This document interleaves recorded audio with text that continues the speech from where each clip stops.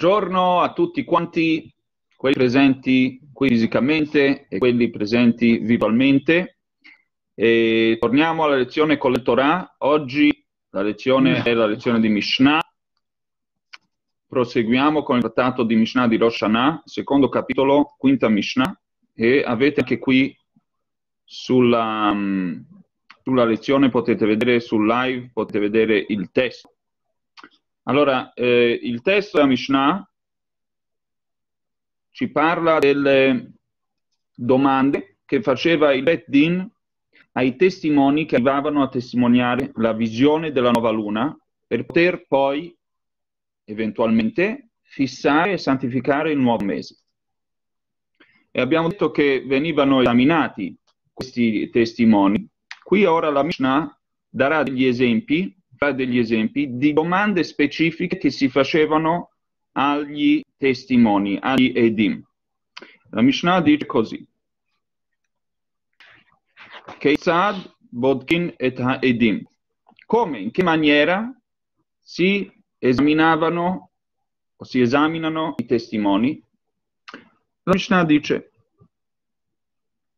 la prima cosa quali sono i primi che vengono esaminati, perché abbiamo studiato già, abbiamo visto che molte, molte testimonianze venivano raccolte, molti testimoni venivano.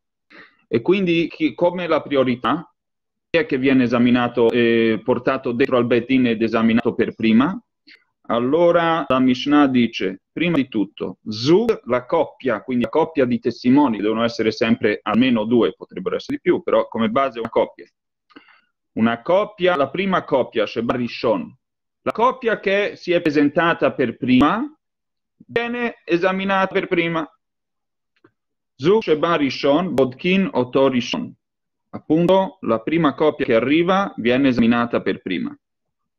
Ora, come per tutte le testimonianze davanti al Bedin, quando vengono esaminati i testimoni per poter verificare la loro validità, e la validità della loro testimonianza non vengono esaminati entrambi insieme, vengono esaminati prima uno per uno, in modo tale che poi il Bedin può paragonare le due testimonianze che vengono appunto trasmesse originalmente in maniera indipendente l'una dall'altra.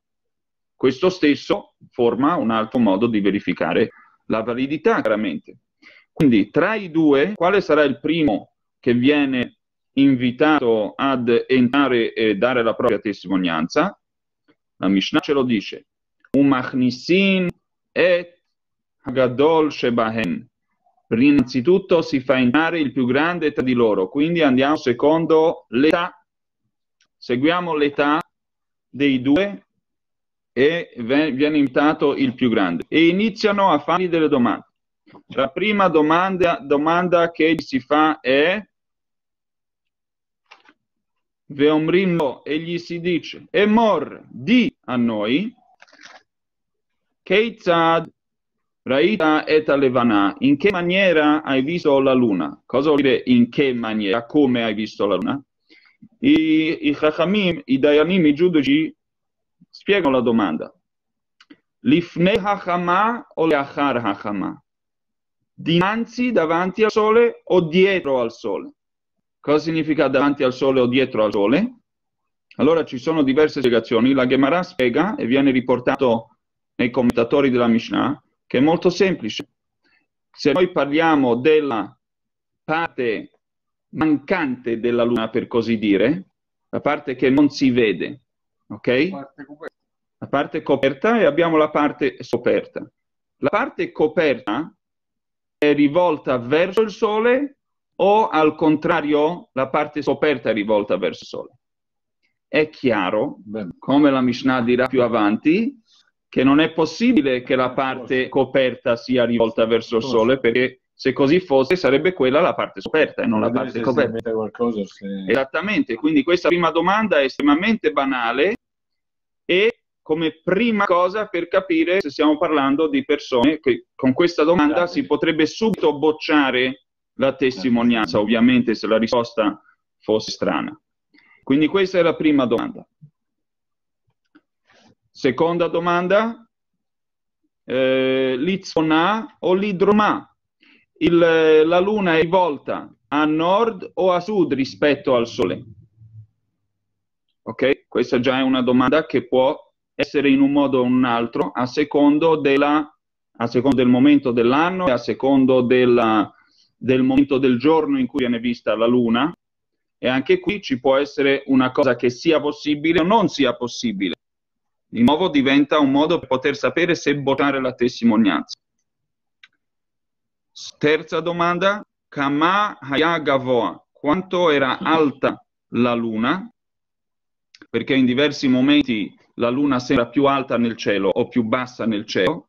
C'è una grande, una luna esatto. Beh, sì, sì, sì, sì, alta o bassa sull'orizzonte. No, luna calante o non calante non, non è qui il discorso perché deve essere la luna nuova. nuova chiaramente. Ovviamente se dicono la luna calante, allora non, non c'è testimonianza, perché può essere in questo momento luna calante. Ehm, e poi la domanda Uleain Haya Nota, verso quale direzione era rivolta? E te, ultima domanda che viene citata qui, Vekama Haya Rahav. Quando dice verso che direzione era rivolta, inteso la, diciamo le, le punte. C'era la C o la D. Sì, C o D. Ok, sì, possiamo dire così. Il morso della no, se la C è rivolta verso, ehm, verso sud o verso nord. Questo intendi? Sì. Ok, perché D? Perché perché praticamente la C al contrario La C al contrario sembra una D. D praticamente perché c'è il... chiusa dall'altra. Ah, perché è come se fosse chiusa dalla parte. Ok, molto bene. Quindi se, se questo è rivolto verso nord o sud. E l'ultima cosa, Vekama Haya Rachave, quanto era larga? Cosa vuol dire quanto era larga? Grande. Lo spicchio che si vede. Eh, non, no, non credo lo spicchio, credo più quanto era grande, perché la Luna può essere vista in maniera più o meno grande. No? Sì, lo spicchio, appunto, quello che si vede della Luna, sì, quanto è largo? Come? Questo è, questo è vicino più lontano e l'altra domanda, quanto era alta? Questa è la domanda più vicino più lontano.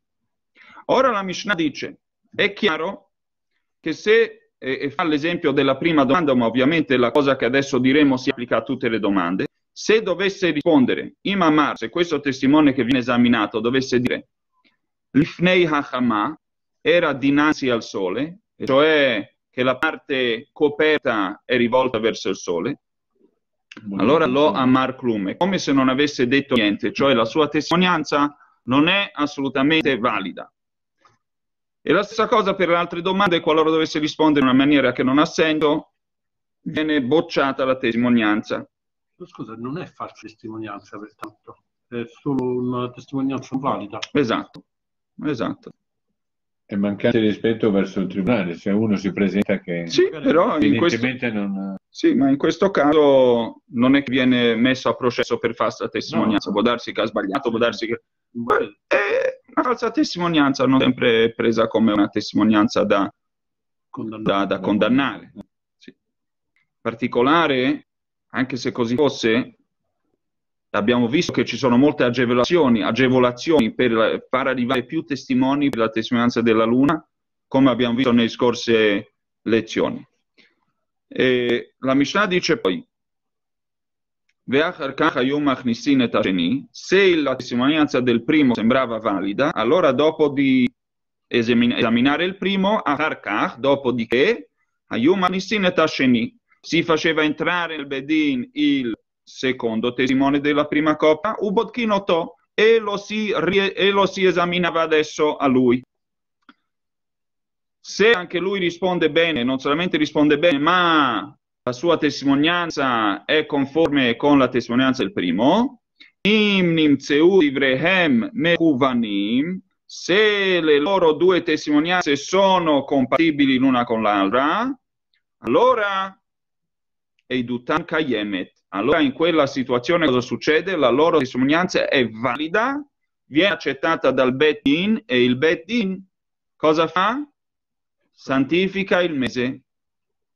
Se questo fosse il primo o il secondo gruppo di Edim e fuori ci sono altri 10-20 gruppi di Edim che aspettano, cosa si dice? Andate tutti a casa? Se queste informazioni bastano del primo, Sì, questo Ah, diciamo, vabbè. se le informazioni bastano per Esatto. santificare il mese e fuori ci sono molti altri testimoni, Viene fatto il musaf aggiuntivo per Rosh chiaro che viene fatto Musaf perché è Rosh però la domanda qui, il soggetto della Mishnah sono i testimoni. Ah, il test- Gli altri testimoni, no, non dimentichiamo che fuori ci sono altre 100 persone che vogliono testimoniare. Prendiamoli in considerazione, dice la Mishnah. Come li prendiamo in considerazione? Non abbiamo più bisogno di loro. Il mese è già stato santificato. Cosa dobbiamo fare? Dice la Mishnah, guardiamo il testo.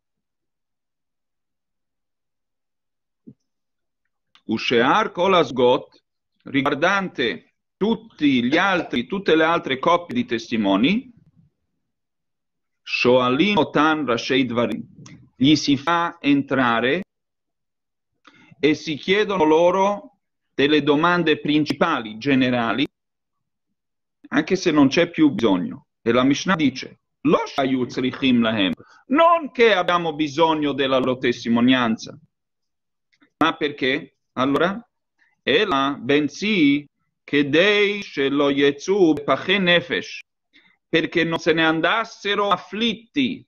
Noi abbiamo fatto tutta questa strada e siamo giunti qui a Yerushalayim, o dove è l'Edina Gadol, per testimoniare la, la, visu- la visione della nuova luna e qui ci dicono andate a casa, non servite più. Cosa succede? La prossima volta non vengono più. Invece vengono portati, gli viene fatto kavod, entrare nel Betin, parlare con il Sinedrio, rispondere a delle domande anche se generiche generali, bishvil regilim lavo, in maniera tale che siano sempre abituati a venire, che, avess- che prendessero l'abitudine di continuare a venire davanti al Betin a testimoniare quando vedono la, lo- la nuova, la nuova luna, scusate, perché? Perché può darsi che un giorno servirà la loro testimonianza Non demotivarli anche. e, non- e per non demotivarli esattamente. Ora, la Mishnah dice, subito la Mishnah successiva, continua a descrivere cosa accade nel momento in cui viene accettata la testimonianza ed ora appunto Leone passiamo dal soggetto testimoni al soggetto santificazione del mese. Quindi abbiamo accettato la testimonianza e arriviamo al momento in cui si santifica. Com- come si dichiara ufficialmente la santificazione Kiddush HaChodesh?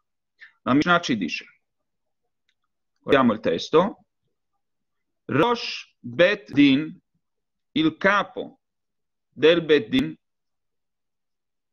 quindi il più importante membro del Sanedrin, del Sinedrio, Omer dichiara Mekudash, il mese è santificato, dichiara il mese è consacrato. E tutti coloro che si trovano lì, Vechol Ha'am, tutto il popolo, Onin Acharav, rispondono dopo sue, la sua parola che ha detto Mekudash, Mekudash. Doppiamente la stessa formula è consacrato, è consacrato il mese. Quindi in tutto viene dichiarato tre volte, una volta da Rosh Bedin e due volte come risposta del, eh, della, appunto della, di tutti quelli che si trovano lì, del, del popolo, e la Gemara trae dalle, dai versetti le allusioni al, a, a perché ci si comporta in questa maniera. È alluso anche nella, nella Torah, nei versetti che parlano del Kiddush HaChodesh. Questo dice la, la Mishnah ora, ben shenira bismano, ben shelonira bismano mekachinoto. Ora, ora la Mishnah affronta in realtà un altro aspetto del Kiddush HaChodesh. Che la luna sia vista nel suo momento o non nel suo momento. Cosa significa nel suo momento o non nel suo momento? A suo tempo significa nel trentesimo giorno. Quindi in questo giorno stesso conclude il mese precedente, inizia il mese successivo, che è praticamente come se fosse stata vista la luna nel momento della sua nascita, più o meno come concetto. E allora lì ha senso chiaramente accogliere la testimonianza, rendere consacrato, santificato il mese in base alla testimonianza che è stata accolta nel momento della nascita della luna. Cosa succede se in tutta questa giornata non arrivano testimoni, quindi non è stata visualizzata la luna nel suo momento. Ed eventualmente fosse stata sì visualizzata non nel suo momento, significa nel trentunesimo giorno, ha senso accogliere quella testimonianza e dichiarare Mekudash, consacrato il mese in base alla testimonianza, oppure è automaticamente consacrato il mese, visto che comunque è chiaro che è passato il tempo della nascita della nuova luna. Il mese c'è stato. Il mese c'è stato. La nascita, il Chodesh, c'è stato. Allora in teoria dovrebbe essere Mekudash quasi automaticamente. La Mishnah inizialmente qui a questo punto dice no, che sia stato visto nel suo momento o non nel suo momento, quindi un po' successivamente, 31 giorno, comunque viene consacrato. Mekacino to, cioè è dal Beddin, lo deve rendere consacrato con la dichiarazione ufficiale. Anche se tardi. Anche se tardi. Anche perché poi il per il mese successivo parte da quello. Sì, esatto, però, Però sarebbe spazzato. partirebbe comunque, la domanda è se parte in automatico o se deve essere consacrato per forza. Betin. Ora vediamo la prossima opinione nella Mishnah. Rabbi El-Azar ben Rabbi Tadok Omer. Rabbi El-Azar, figlio di Rabbi Tzadok, dice no.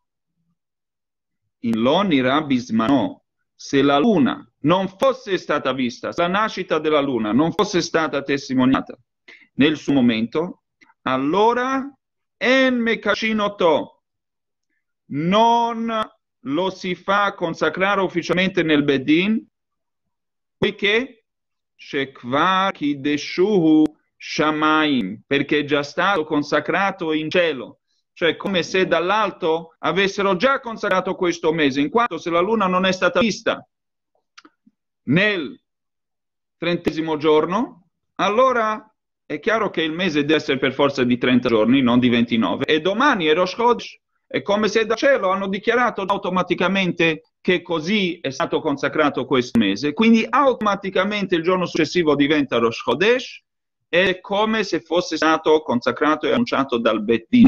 Di conseguenza, l'Alaha segue questa opinione di Rabbi Elazar Berabitzadok.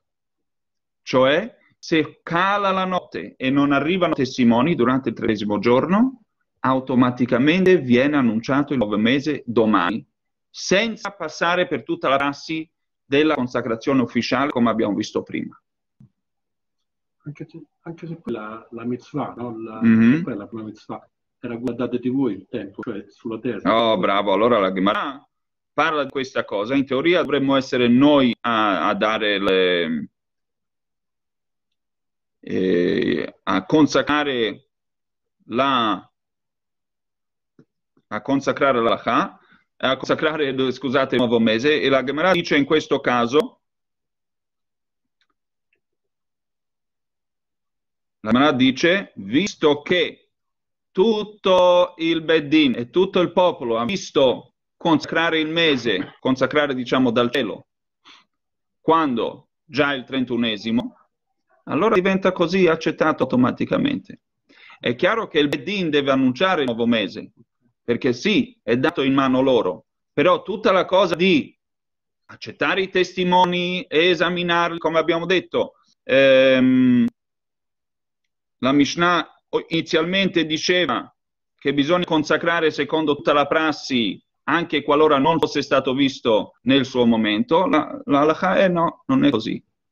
Si accetta che è Rosh Chodesh, va annunciato dal Bedin, però è una cosa che avviene, diciamo che è come se è, è imposto, imposto che Rosh Chodesh da domani non può essere diversamente. Quindi tutta la prassi prima non c'è. Ok. Benissimo. Ora nella prossima Mishnah vedremo delle testimonianze interessanti riguardo a diversi Chachamim e diverse situazioni specifiche che sono accadute durante la testimonianza per il nuovo mese. Allora nella prossima lezione continueremo sempre qui. Buona giornata a tutti quanti. Senti,